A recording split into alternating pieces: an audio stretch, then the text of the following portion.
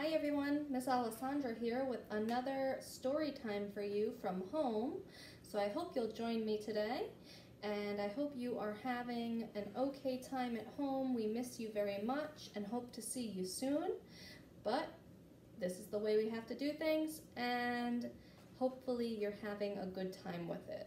So we're going to start story time today. We are going to first begin with our hello song. So if you know it, you can sing it with me. If you don't, I bet you can follow along. It goes like this.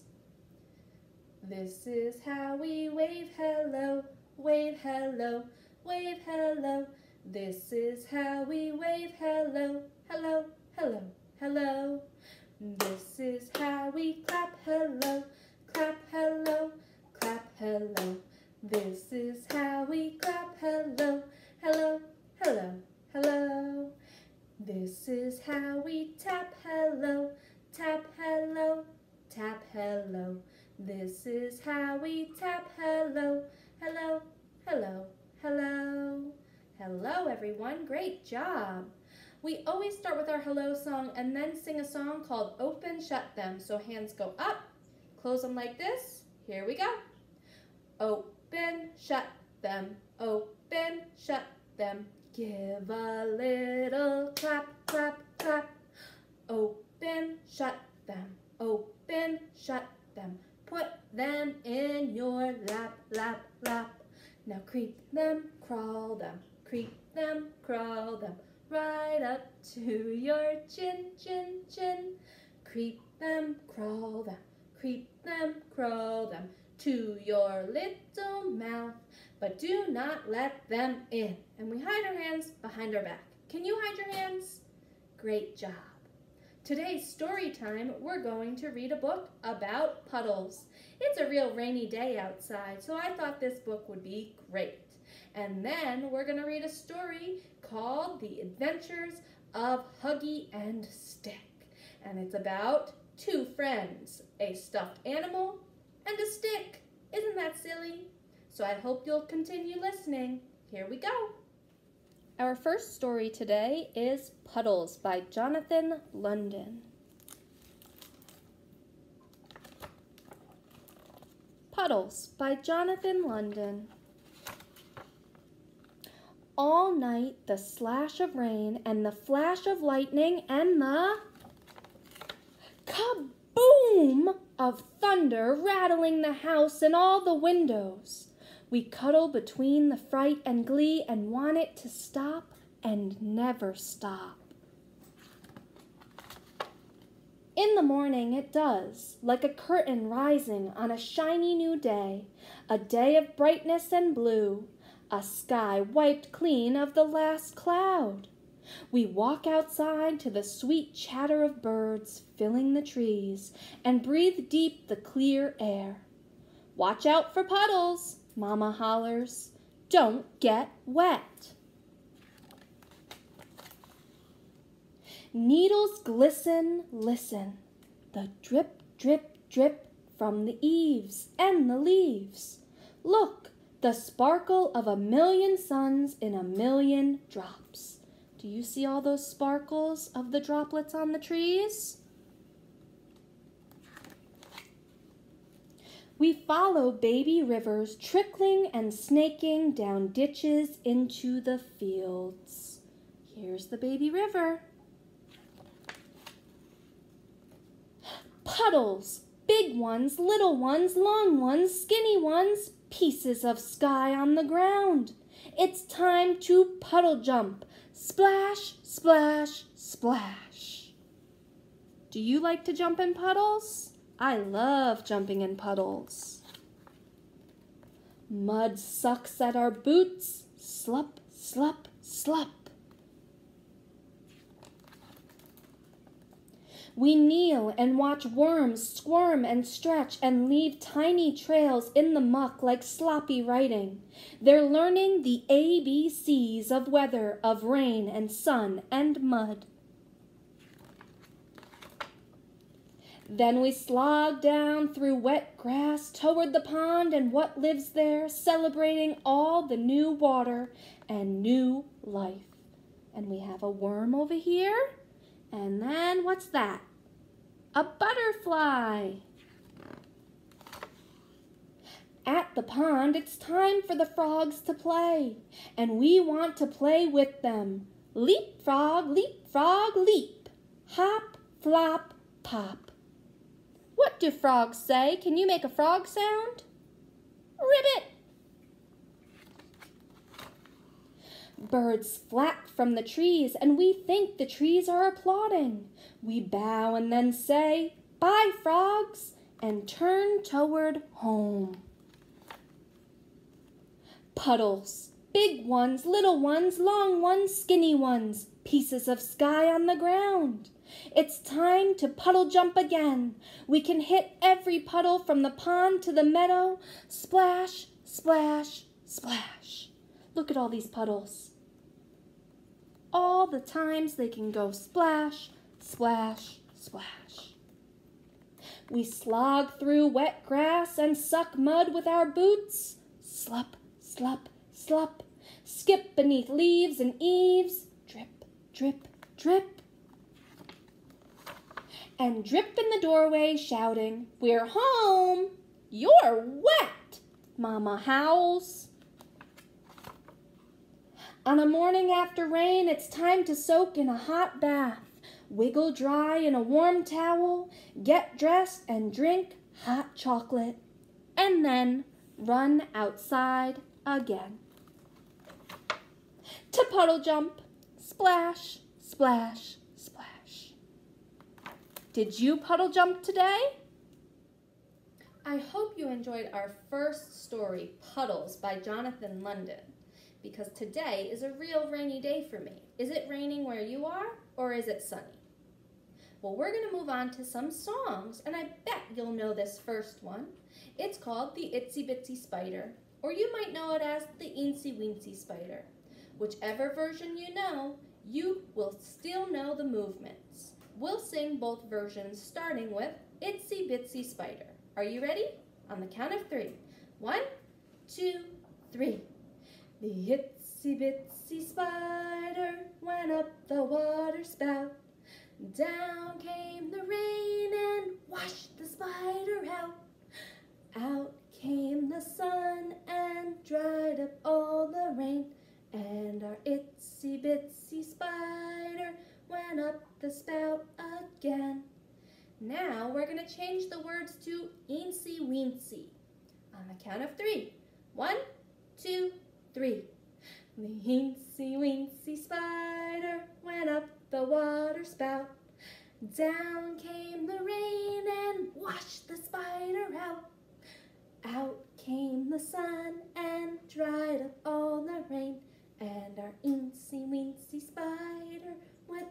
the spout again. Great job. Our next song you might not know. This is called Rain is Falling, and I'm going to teach it to you in three steps. Because rain falls, we are going to use our fingers to fall down. Okay, so it's going to go like this when we go, rain is falling, just like that. Then, when it hits the ground, it makes a sound called splash. And we're going to clap. Splash. But if there's a lot of rain, there's a lot of splashes on the ground. And that makes the sound pitter-patter. So for pitter-patter, we are going to clap on our legs like this. Pitter-patter, pitter-patter. Are you ready? Okay, here we go. Rain is falling, splash. Rain is falling, pitter patter, pitter patter, splash. Rain is falling, splash. Rain is falling, pitter patter, pitter patter, splash. Great job. Are you guys ready for another story? All right, we're going to get started with our next story. Here we go.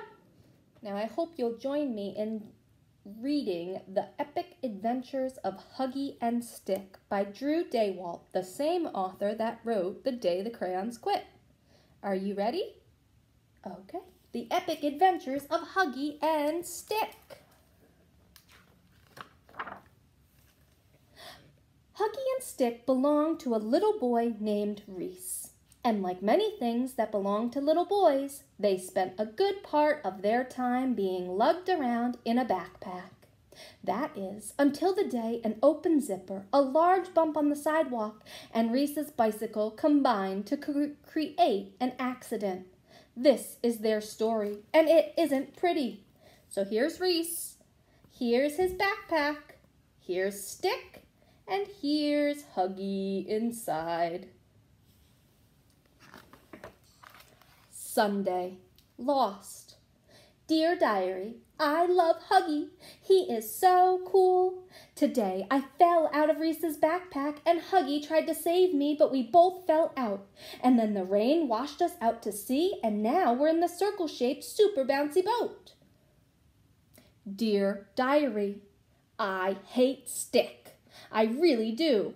I tried to push him out of the backpack today, but his pointy head snagged a loose thread on my paw and we both fell out. Now I'm writing this from a dirty tire floating in the middle of the Pacific Ocean. So here's Stick, who really loves Huggy, and here's Huggy, who doesn't like Stick. Dear Diary, best trip ever. Today we were rescued by these nice guys in super awesome hats. I told Huggy they must be some kind of super awesome hat club. They showed us their cool swords and Huggy gave them his button.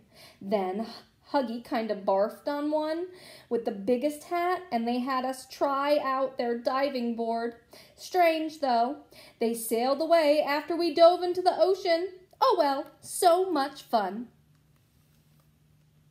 Dear Diary, Worst trip ever.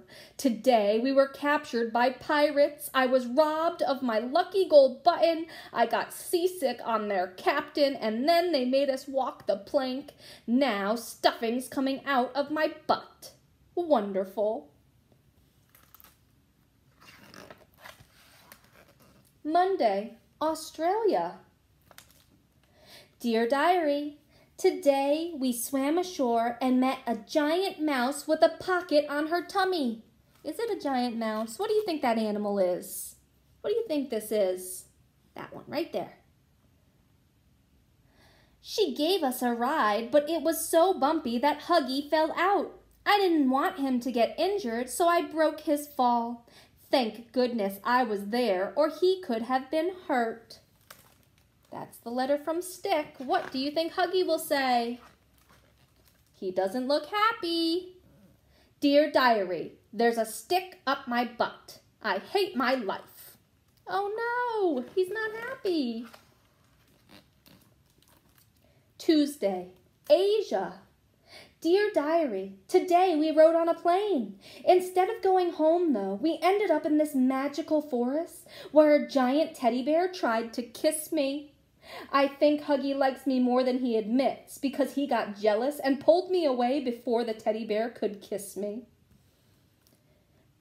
Dear Diary, Today a giant panda tried to eat stick. That's what pandas eat, sticks. Somehow Mr. Wood for Brains thought he was going to get a kiss. I'm not sure why I saved him, but I did. Unfortunately, the bear didn't appreciate me taking away his lunch.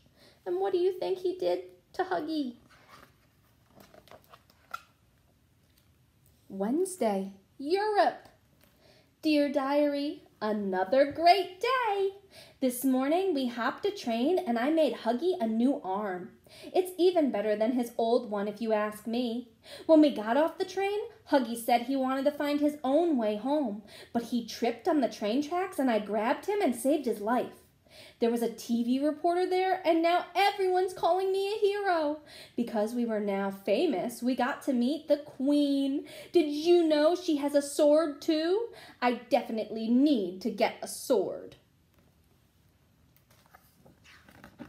Huggy's still excited. Uh, Stick is still excited. Dear Diary, I don't believe this. I almost get run over by a train and Stick gets knighted by the Queen of England? In what universe is that fair? I'd chop him into little pieces with my new arm, but it only seems to be good for eating hearty soups. What is his arm made of? What do you think it is? It's a spork.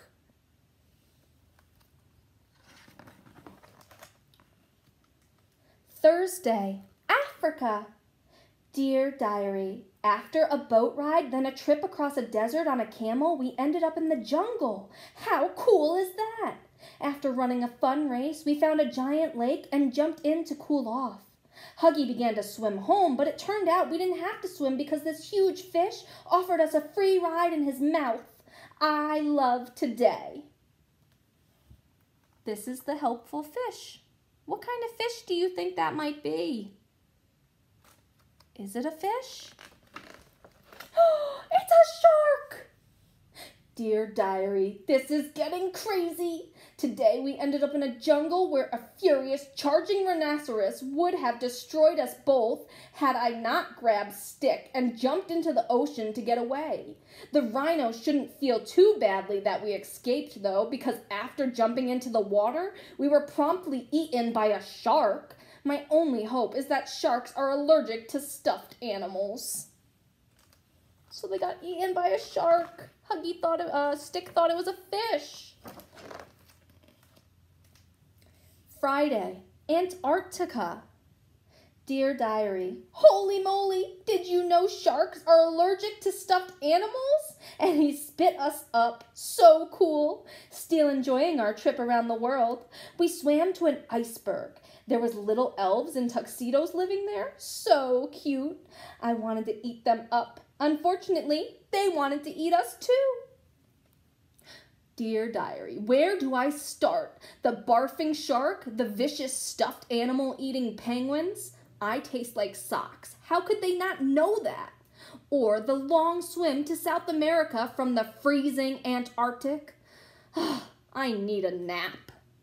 So, Huggy is not happy. He's not having fun like Stick. Saturday, South America. Dear Diary, can you say amazing? Because that's what the rainforest is. All those cool animals and those nice people who turned me into a sippy straw. I even saved Huggy from those mean fish that tried to eat him. Golly gumdrops, Huggy and I make a great team. So what kind of animals do we see here? We see he's wrapped in a snake. There's a leopard, a sloth, Look at all these different animals. Do you think Huggy's happy? He doesn't look happy, right? Let's see what he has to say. Dear Diary, can you say horrible? Because that's what the rainforest is. Poisonous frogs, bugs as big as my head, and fish that eat anything, including stuffed bunny legs. Stop trying to eat me, world. Not only that, I had to save Stick from some people who hollowed him out and used him as a blowgun to shoot at monkeys and sloths all morning. Weirdest trip ever.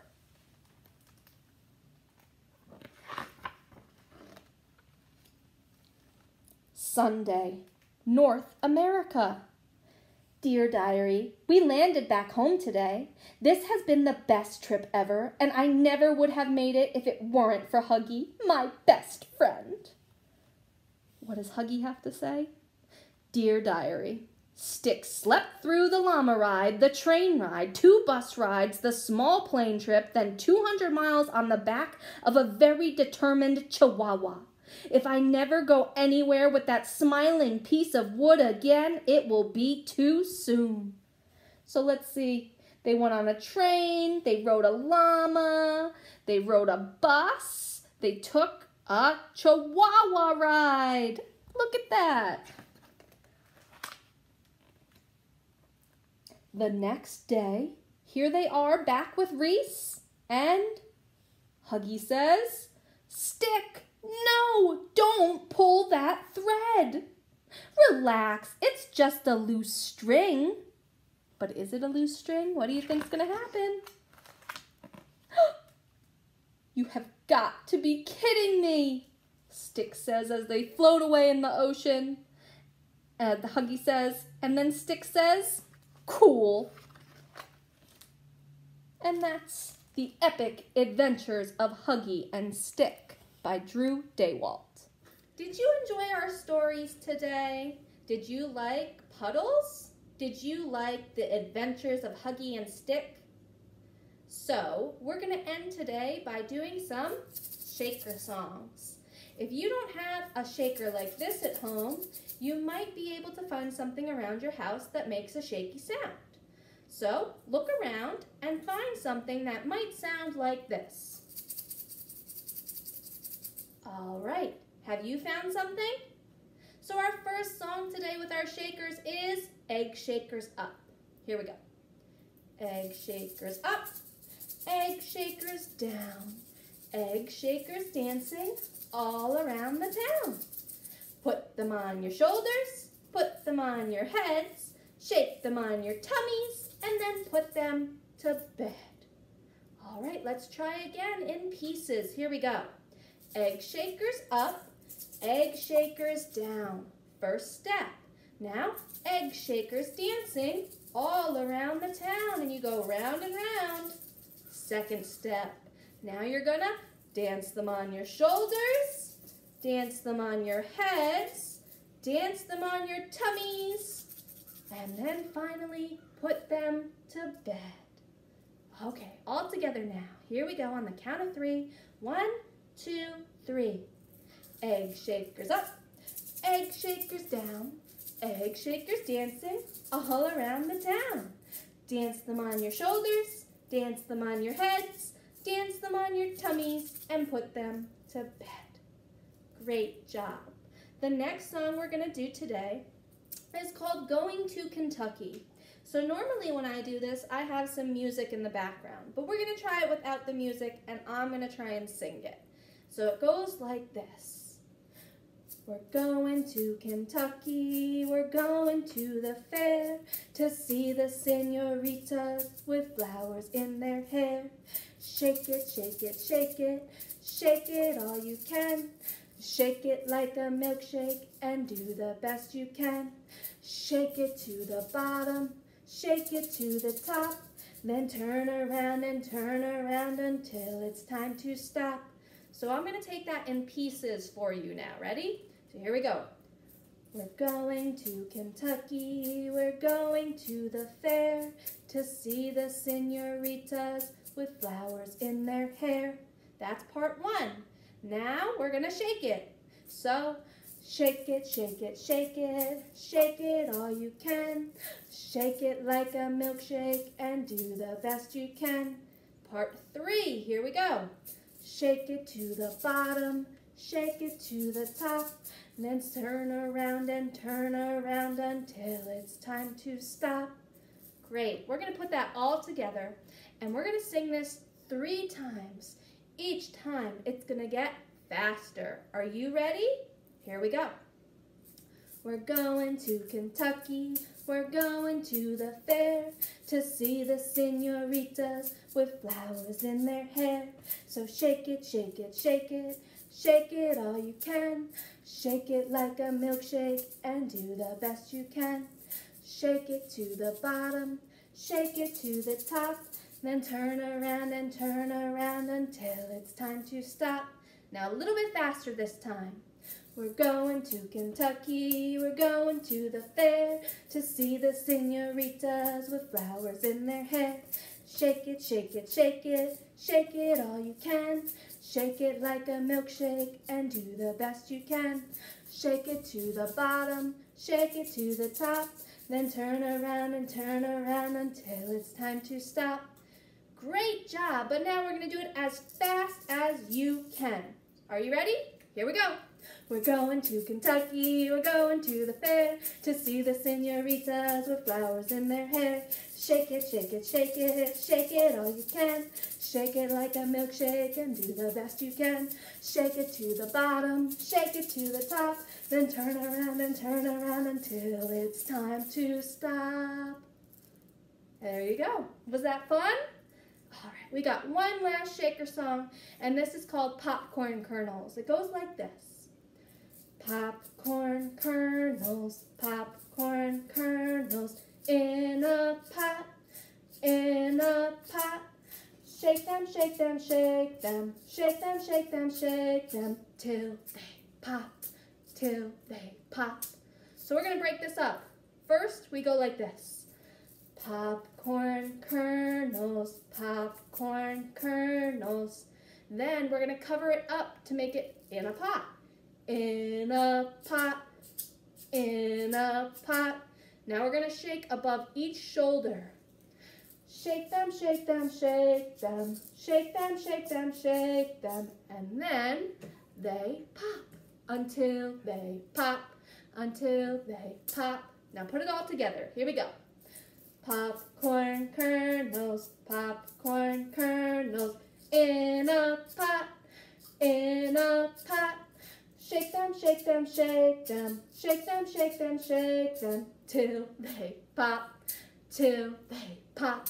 Did you catch that popcorn? Okay, I hope you enjoyed story time today, and hopefully I will see you guys soon, but we have reached the end, and we're gonna sing our goodbye song now. Okay, here we go. We wave goodbye like this, we wave goodbye like this, we clap our hands for all our friends and wave goodbye like this. Goodbye, my friends. See you soon.